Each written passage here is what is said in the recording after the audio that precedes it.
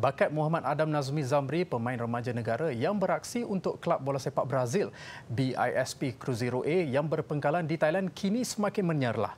Pada kejohanan bola sepak antarabangsa remaja Iber Cup yang berlangsung di Estoril, Portugal baru-baru ini, Adam berjaya meledak dua gol sepanjang saingan yang turut menyaksikan pasukannya muncul naib juara tewas 2-1 kepada klub dari Spanyol, Promesas de Norte.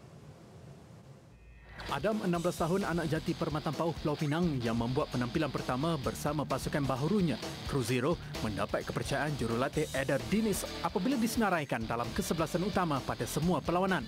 Dan kepercayaan itu tidak disia-siakan Adam yang beraksi di posisi penyerang apabila berjaya meledak gol pada perlawanan pertama seawal minit kelima untuk mencatat kemenangan 3-1 menumpaskan wakil tuan rumah di Abril di True Choice.